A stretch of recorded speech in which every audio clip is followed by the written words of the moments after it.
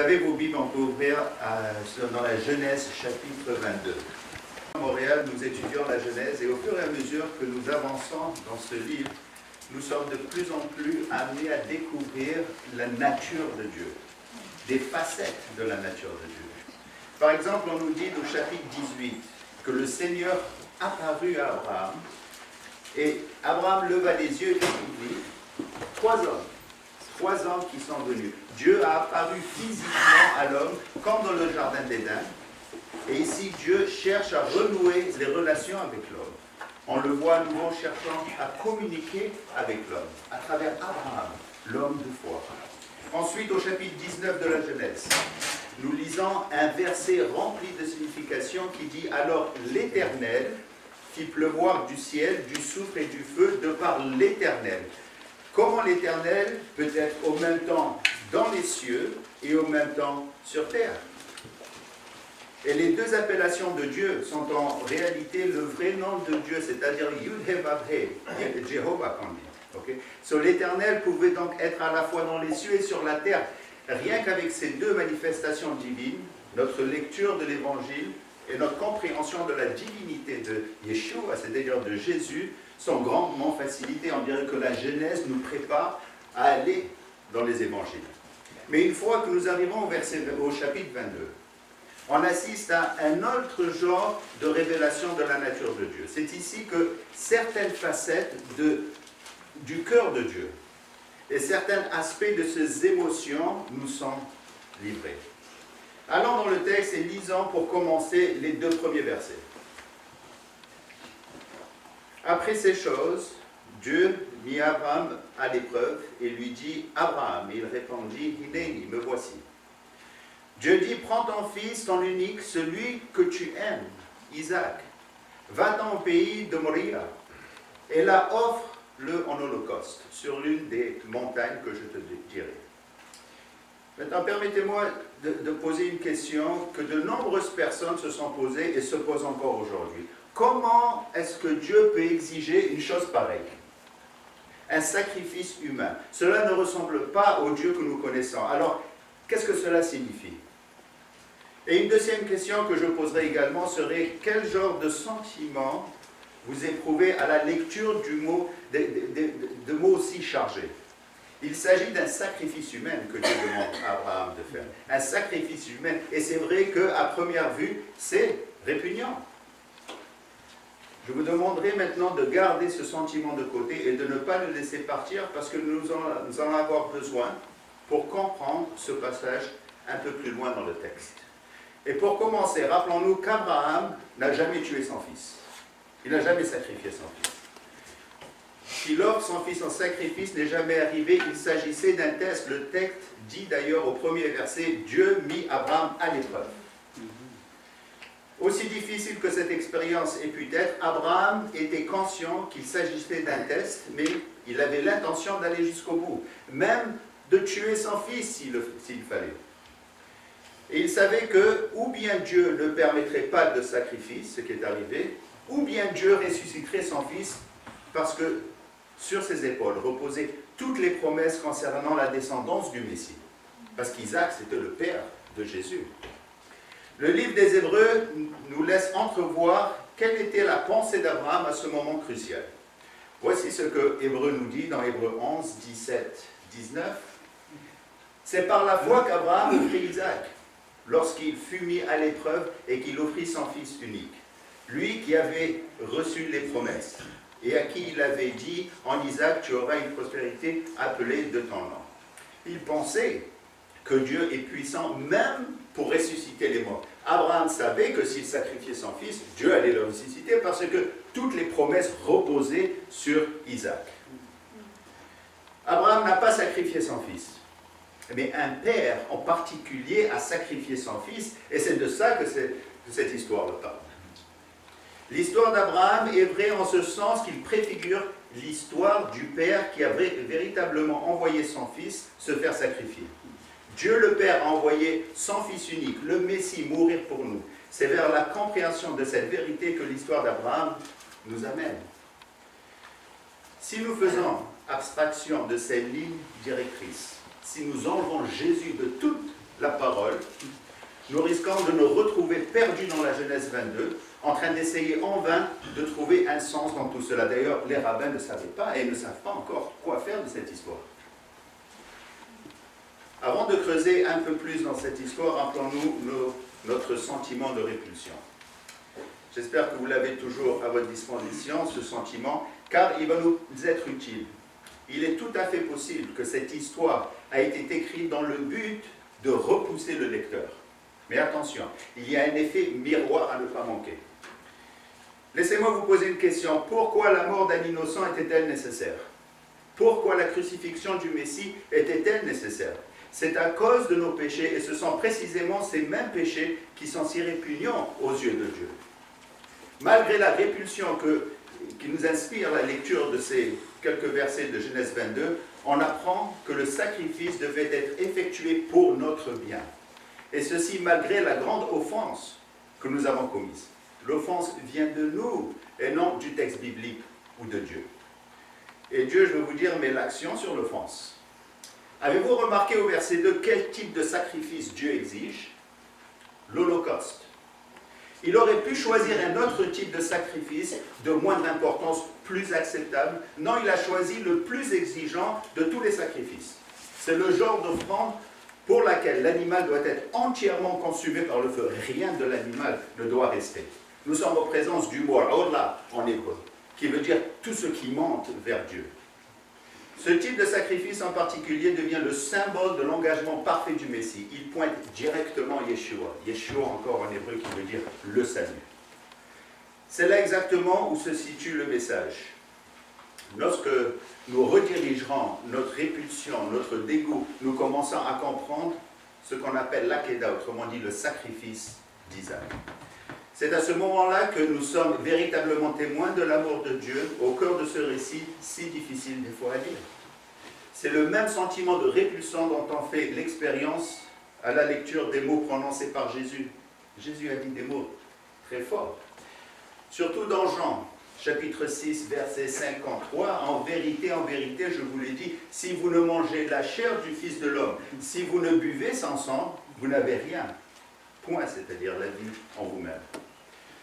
Le Ruach HaKodesh, c'est-à-dire le Saint-Esprit, dans ces deux passages, veut nous faire réaliser à quel point le péché est profondément horrible aux yeux de Dieu.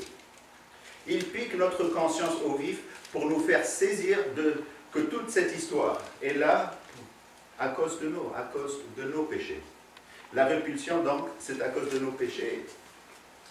Et Jésus est là pour nous sauver. Mais laissez-moi poser encore une question. Comment est-ce que les autres ceux qui ne croient pas en Jésus. Comment est-ce que les autres ont réagi à la lecture de ce récit? La publication de l'été dernier du journal juif euh, Akira consacrait un article sur l'Akeda. Il disait notamment que l'Akeda était la plus grande énigme religieuse de tous les temps et l'auteur expliquait que bien des gens considéraient ce passage comme l'ultime violation, violation de la moralité c'est-à-dire naturel. Pourquoi? Parce qu'ils ne connaissent pas Jésus. Ils ne peuvent pas comprendre cette histoire. Cette histoire avait même retenu l'attention du philosophe allemand Emmanuel Kant. Ce dernier affirmait qu'Abraham n'aurait pas dû écouter ce commandement parce qu'il dit que ça ne pouvait pas venir de Dieu. Dieu ne pourra jamais demander telle chose. Pour d'autres, ce récit adressait un rempart entre eux et Dieu. La plupart de nous ont entendu parler de Larry King, c'est un présentateur bien connu de la télévision américaine. Son vrai nom, c'est Harvey Zingler, un nom typiquement juif. Au cours de nombreuses années de travail euh, à faire des entrevues de célébrités, il a fait la connaissance de plusieurs hommes de Dieu, dont Billy Graham, avec qui il est devenu un grand ami. Quand on l'interroge euh, au sujet de sa foi et de sa perception de Dieu, Larry King se remémore le sacrifice d'Isaac. C'est ce qu'il a dit. Il dit j'ai beaucoup de respect pour les gens dont la foi est authentique. J'ai fait tant d'entrevues à ce sujet et j'ai continuellement cherché un sens à tout ça. Mais le Dieu de l'Ancien Testament, je ne peux pas aimer les choses qu'il a fait, comme lorsqu'il a dit à Abraham, sacrifice ton fils. Ça m'a toujours dérangé, il dit, et c'est pour ça que je ne peux pas croire au Dieu de l'Ancien Testament. Mais évidemment, évidemment qu'ils n'y comprennent rien si vous faites abstraction de Yeshua, de Jésus dans toutes les Écritures, vous vous retrouvez avec une histoire incompréhensible et répulsive. Enlevez la fondation de tout le livre de la Bible, et, qui est Jésus, et tout s'écroule. Jésus l'avait dit dans Jean 5, 46. Car si vous croyez en Moïse, vous croyez en moi, parce qu'il est écrit de moi. Il disait ça aux pharisiens. C'était des grands religieux, mais ils avaient ils étaient sortis de la parole de Dieu et ils ont créé leur propre religion avec le Talmud, la Mishnah, la Gemara et ainsi de suite. Et quand Jésus est venu, la parole incarnée, ils ne l'ont pas reconnu. Pourquoi? Parce qu'ils sont sortis de la parole. Parce que si on reste dans la parole, on va voir que Jésus est le Messie. Parce que la parole parle de Jésus partout. Maintenant, allons creuser un peu plus en profondeur dans ce récit. Le plus on l'étudie, le plus on a l'impression que le Messie est présent à chaque tournant. Attendons-nous d'abord sur le lieu où Abraham doit aller. Regardons verset 2 encore. Dieu dit, prends ton fils, ton unique, celui que tu aimes, Isaac, va-t'en au pays de Moria. Moria, je ne dis pas J, parce qu'il n'y a pas de J en hébreu. Donc c'est Moria. Où est le pays de Moria? Cette indication va nous ouvrir littéralement les portes du texte. Un autre endroit dans les Écritures où se trouve le nom de Dieu, c'est dans 2 Chronique, chapitre 3, où Salomon allait construire le temple exactement dans cette montagne de Moria. Les Targums, c'est-à-dire les traductions bibliques de l'hébreu à l'araméen, c'était les Bibles dans les synagogues, utilisées dans les synagogues dans le temps de Jésus, appelaient le mont Moria le mont de l'adoration parce qu'il faisait référence au temple. Et ils avaient fait cette connexion avec le sacrifice d'Isaac. Ils se disaient que c'est le même endroit. Les deux Talmuds confirment également ce fait. Même Joseph Flavius, l'historien juif du 1er siècle, ajoute que le mont Moria, c'était la montagne sur laquelle le roi David avait bâti le temple. Et qu'est-ce qui s'est passé sur cette montagne? 2000 ans, Jésus aussi s'est fait sacrifier dans cette même montagne. Le récit de Genèse 22 marque ici une pause. Cette pause vient anticiper l'événement de la crucifixion et les versets qui suivent vont clairement, clairement dans ce sens-là. Et quelle, était, quelle est la signification de Moria Encore une fois, s'ouvre devant nous un, feu d'artifice de toute beauté. D'après le contexte, on peut considérer que la racine du mot Moria provient du mot roar, qui veut dire pour voir, d'accord, voir quelque chose ou pourvoir. D'ailleurs, au verset 4, quand Abraham dit que Dieu allait pourvoir, vient, ça vient du mot Moria. Ok, Roar, Moria. Mais les rabbins envisagent plusieurs possibilités de racines parce que c'est un nouveau mot. Plusieurs possibilités de racines à l'origine du mot Moria et toutes sont valables en ce qui nous concerne. Laissez-moi vous donner quelques-unes. Certains disent que Moria était un lieu d'enseignement parce que le mot moré, enseignement en hébreu, est dans le mot Moria. Le mot enseignement, c'est parce que c'était là où, là, c'était le temps où Dieu nous enseignait des choses. D'autres disent que Moria, c'est le lieu de la crainte de Dieu parce qu'ils voient le mot Yira, qui veut dire crainte, dans ce mot-là. D'autres encore, ils voient un lieu de lumière parce qu'ils voient le mot Ora dans le mot Moria, qui veut dire Ora, qui veut dire or, lumière. Une autre interprétation, c'est ma préférée, avance que le lieu de la mire, puisqu'il trouve le mot mour dans la signification de mire, dans Moria. Comment, comment est-ce qu'ils sont arrivés d'ailleurs à ce point de vue? C'est d'après le Cantique des Cantiques, chapitre 4, verset 6, qui dit Avant que le jour se rafraîchisse et que les ombres fuient, j'irai à la montagne de la mire. La montagne de la mire, il disait ça, c'est la montagne de Moria. Pour eux, la montagne de la mire, la colline de l'encens représentait le temple de Dieu où se déroulaient tellement de sacrifices. La mire fait partie des cadeaux que les mages avaient apportés à Yeshua. La mire était le symbole de la mort et du sacrifice de Jésus. Et c'est exactement à cet endroit que Nicodème, Nicodème ou il s'appelle aussi Nicodème Ben dans le Talmud, c'était un homme très riche, et très, qui connaissait très bien euh, Bible. D'accord? C'est là où Nicodème a apporté de la myrrhe pour embaumer le corps du Messie. Mais il était déjà ressuscité à ce moment-là. Donc le mont Moria représente tous ces aspects-là. À la fois, c'est la montagne de l'enseignement et la montagne de la crainte de Dieu. Et c'est aussi la montagne de l'espoir, de la lumière. Mais avant tout, c'est la, la montagne de la mire, où notre Messie est mort et ressuscité. Ainsi, Genèse nous amène. Elle nous amène vers notre Messie. Lisons maintenant les versets 3 à 6 et revivons ce moment déterminant entre le Père et le Fils, Abraham et Isaac. Et nous allons voir autre chose là-dedans. C'est Abraham se leva de bon matin, là son âne, et prit avec lui deux serviteurs et son fils Isaac. Il fondit du bois pour l'Holocauste et partit pour aller au lieu que Dieu lui avait dit.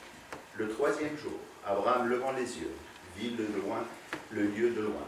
Et Abraham dit à ses serviteurs, restez ici avec l'âne, et moi et le jeune homme, nous irons jusque là pour adorer, et nous reviendrons auprès de vous. Abraham, Abraham prit le bois pour l'Holocauste, le, le, chargea sur son fils Isaac, et porta dans sa main le feu et le couteau. Et ils marchèrent tous les deux ensemble. Pour ceux d'entre nous qui connaissent le récit de la mort et de la résurrection du Messie, les points communs entre chapitre 22 de la Genèse sont vraiment frappants. Au verset 3, c'est le père Abraham qui fait les préparatifs du voyage. Il scelle l'âne et lui-même coupe le bois pour l'Holocauste. Pourquoi est-ce qu'Abraham n'a-t-il pas demandé à un de ses nombreux serviteurs de faire ce travail?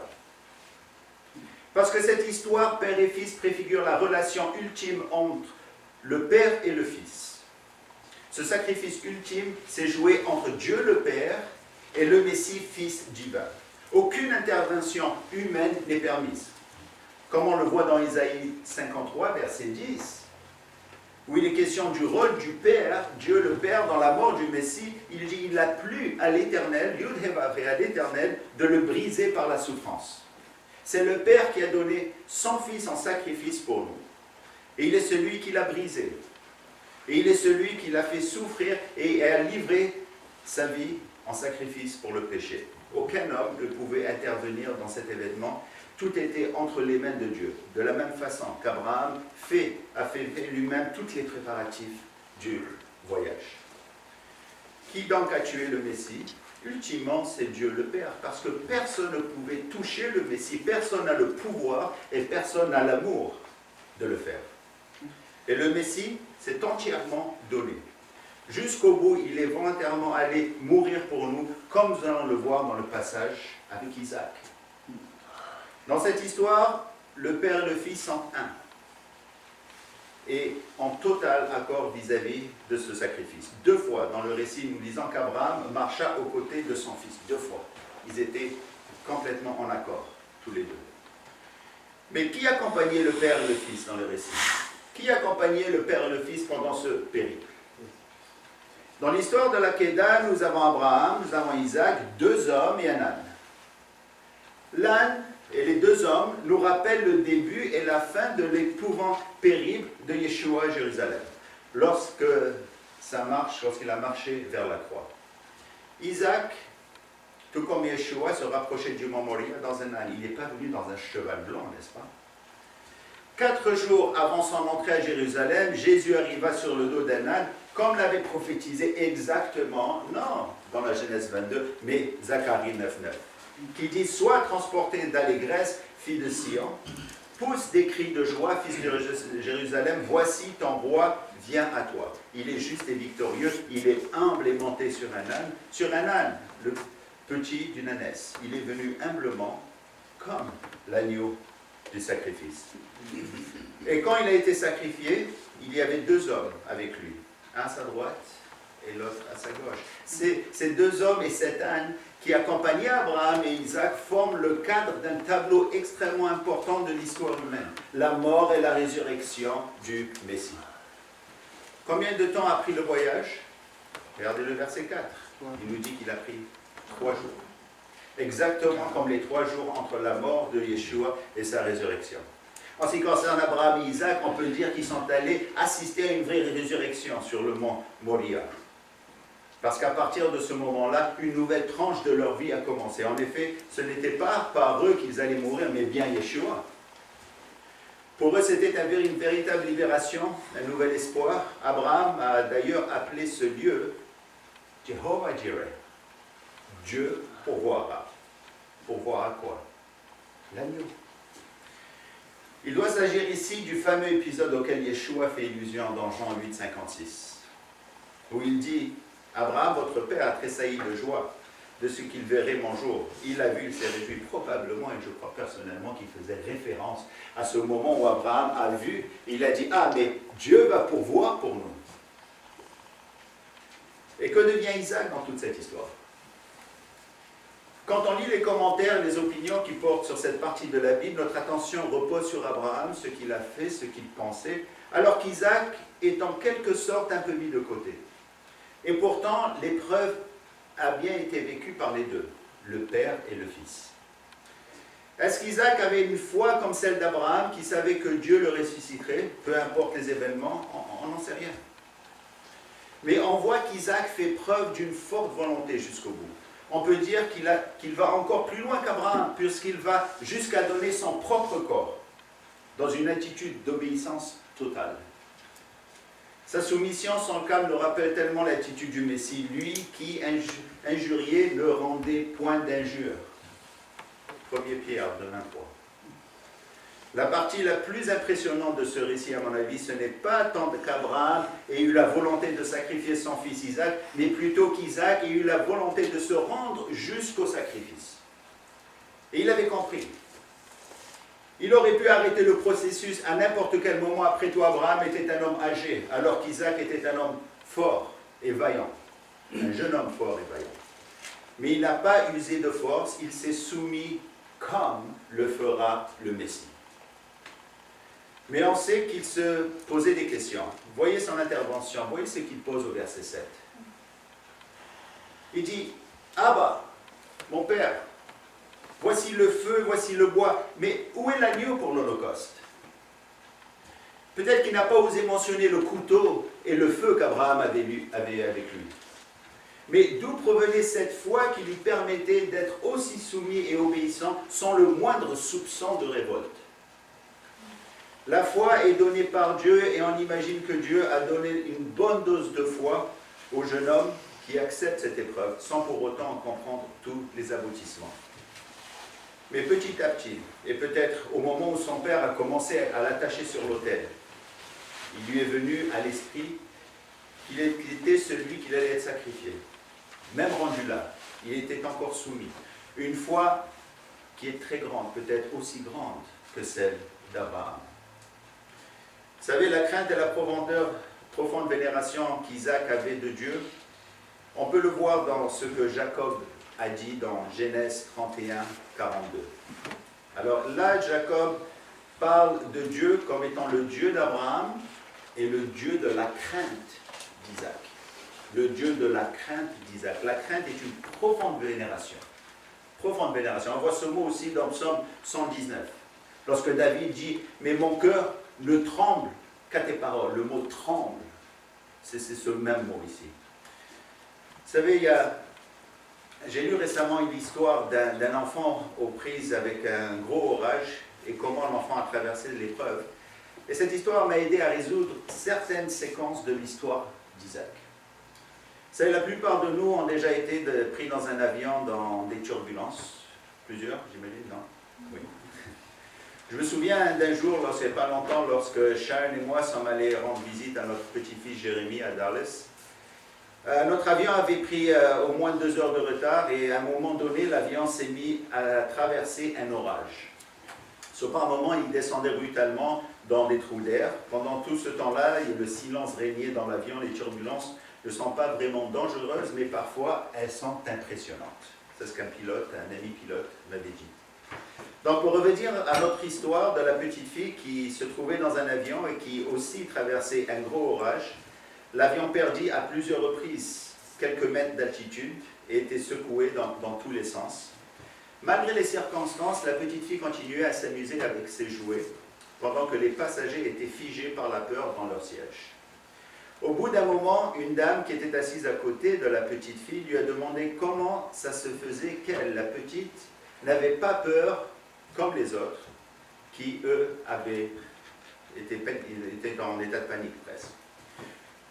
Alors la petite fille a répondu comme ça. Elle dit, c'est mon père le pilote. C'est mon père le pilote. Elle faisait tellement confiance à son père qu'elle était sûre qu'il pouvait se sortir de n'importe quelle turbulence. Est-ce que vous saviez que notre Père est le pilote de notre avion? Hein? C'est ce que ce passage nous dit aussi. Quand nous traversons des crises, vous savez, dans ma congrégation, des fois, il y a des gens qui viennent et ils paniquent comme si Dieu les avait laissés juste à ce moment-là. Dieu a envoyé son Fils du paradis pour mourir pour eux et ils croient qu'à ce moment-là, ils sont complètement seuls. Maintenant, pensez à ça. Isaac avait deux pères sur lesquels s'appuyer. Son père terrestre et son père céleste. Peut-être que ça aussi lui a donné tellement de force à passer à travers tout ce qu'il est passé dans Genèse 22. Donc cette relation entre Isaac et Jésus ressort encore plus au fur et à mesure que nous rentrons plus profondément dans le récit. Un exemple est durant l'ascension du mont Moria.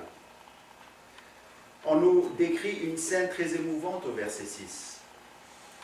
Regardez ce qui est écrit. Il est écrit qu'Abraham prit le bois pour l'Holocauste le chargea sur son fils Isaac et porta dans sa main le feu et le couteau. Vous savez qu'Isaac s'est mis à porter le bois qui devait servir pour sa mise à mort.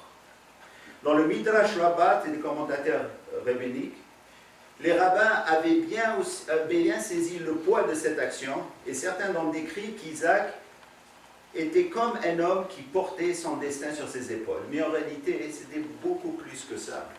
C'était l'image du Messie juif portant sa croix jusqu'au lieu de sa crucifixion. Ça correspond très bien à la description que nous donne Jean au chapitre 19, verset 17. Jésus portant sa croix arriva au lieu du crâne, qui se nomme en hébreu Golgotha. Quand Abraham charge le bois sur le dos d'Isaac pour le transporter jusqu'à l'autel du Mont Moria, c'est le symbole par excellence de la Kedah. Vous êtes-vous déjà demandé, au fait, en parlant de, bois, pourquoi Pierre parle de bois dans 1 Pierre 2, 24 et non pas de la croix? Il dit, portez-vous, portez lui-même nos péchés en son corps sur le bois, afin que, mort au péché, nous vivions dans la justice. Pourquoi est-ce que Pierre parle du bois et non de la croix? Peut-être qu'il voulait que ses lecteurs se rappellent de la Kedah. Son commentaire au verset 23 est directement écho, de, chapitre 53 d'Ésaïe et fait, fait directement référence au sacrifice d'Isaac et qui dit lui qui était injurié ne rendait point d'injure, maltraité ne faisait point de menace. C'était l'image d'Isaac et surtout de Jésus qu'on voit ici dans 1 Père de 23. Pierre, à ce moment-là, se trouvait à Jérusalem. C'était un pasteur de l'église de Jérusalem, et l'église de Jérusalem était composée de juifs messianiques. Et ensuite, il est ramené à ce qu'il savait le mieux, l'histoire de l'Akedah, pour faire cette relation entre Isaac et Yeshua. Maintenant, considérons le verset 10. Verset 10 de la Genèse 22 qui dit Puis Abraham étendu la main et pris le couteau pour égorger son fils. Que se passe-t-il dans ce verset? Laissez-moi vous montrer comment certaines, personnes ont interprété ce verset. Euh, vous voyez le, tableau. Il y a Abraham qui tend son bras armé d'un couteau en direction de son fils pour le tuer. Ce n'est pas exactement comme ça que la Bible rapporte les faits il y a un surplus de dramatisation qui ne fait qu'ajouter à la gravité de la situation et qui finalement dilue le message. Dans le tableau, Dieu et Abraham ne sont pas représentés à leur juste valeur. Les deux pères sont dépeints comme étant sévères, et certains iront jusqu'à dire sans cœur. Regardons maintenant comment le tout s'est déroulé, et voyons à quel point notre Dieu est un Dieu très sensible. Le verset 10 nous apprend qu'Abraham a étendu sa main pour saisir le couteau. Et au moment où il prend le couteau, juste au moment précis, quelque chose se passe. Regardez versets 11 et 12. Alors l'ange de l'Éternel appela des cieux et dit, Abraham, Abraham. Et il dit, Hineni, me voici. L'ange dit, n'avance pas ta main sur l'enfant et ne lui fais pas de mal. Car je sais maintenant que tu crains Dieu et que tu ne m'as pas refusé ton Fils unique. Vous savez que le mot étendu au verset 10 est le même mot en hébreu que le mot avancé au verset 12. Dans le tableau que nous avons, c'est celui d'Abraham qui tend sa main pour prendre le couteau. Mais il n'a pas avancé la main par-dessus Isaac. Il n'a pas fait ça. Il n'a pas avancé la main avec le couteau sur Isaac. Cette scène à laquelle on s'attend ne se produit pas dans le tableau. Certes parce que Dieu ne l'a pas permise.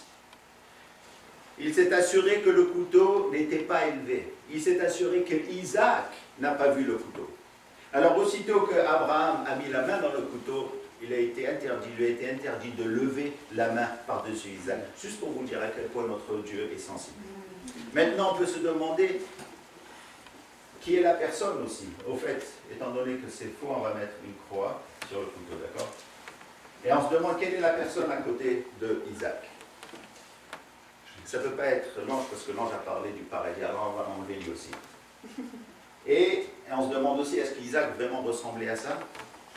Ok, on va, passer juste à l'autre photo, parce qu'on ne sait pas à quoi il ressemblait. Maintenant, à ce point du récit, on a l'impression que l'attention à cet instant si crucial atteint son apogée, au point de véritablement toucher même le ciel. Avez-vous réalisé la rapidité de l'action de l'ange entre le moment où il s'adresse à Abraham et le moment où il agit? Du haut des cieux, il appelle Abraham et à deux reprises il dit Abraham, Abraham, arrête et ça a dû être un, tellement grand soulagement pour Abraham qui dit, aussitôt qu'il a entendu son nom, il a dit, Hineni, me voici, comme ça on dirait qu'il disait, ah, finalement, ça s'arrête ici. Parce que ça a dû être tellement dur pour un père de, de faire ça, même de prendre le couteau. Et dans ce passage, l'ange de l'Éternel s'adresse à Abraham et lui apparaît sous une forme de théophanie. Vous savez que l'ange de l'Éternel, c'est qui ça? Il dit, il dit, car je sais maintenant que tu crains Dieu et que tu ne m'as pas refusé ton Fils unique. C'est une théophanie, c'est-à-dire c'est une manifestation physique de Dieu. C'était, on dirait que Jésus est venu, il lui dit, tu ne m'as pas refusé, c'est ça. Donc l'ange de l'Éternel, c'est une théophanie. Et c'est intéressant de noter que Dieu lui, parle d'Isaac comme fils unique. Alors que dans les faits, Abraham avait notre fils Ishmaël. D'ailleurs, l'expression fils unique est répétée trois fois dans ce chapitre. Au verset 2, au verset 12 et au verset 16.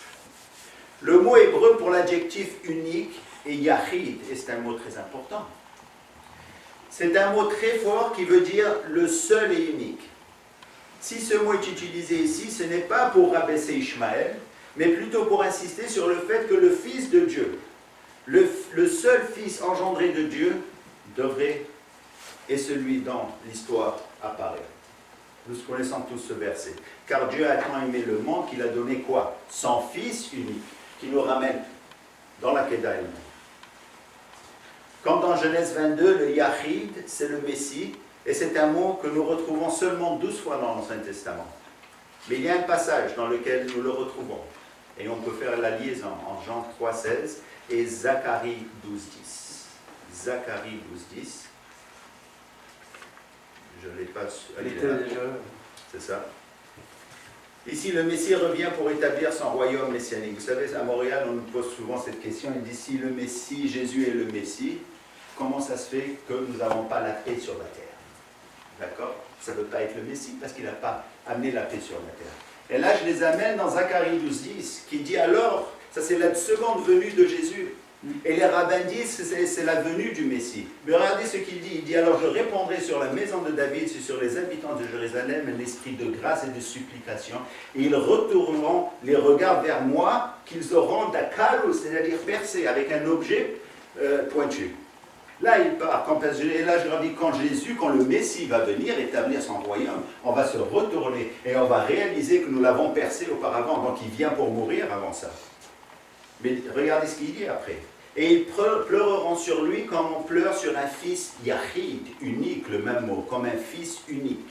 Et ils pleureront amèrement sur lui comme on pleure sur un premier-né, comme Isaac.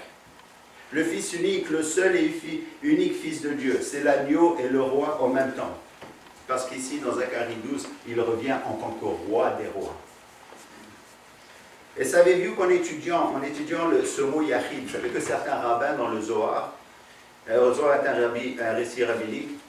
Là, les rabbins ont reconnu euh, la Trinité.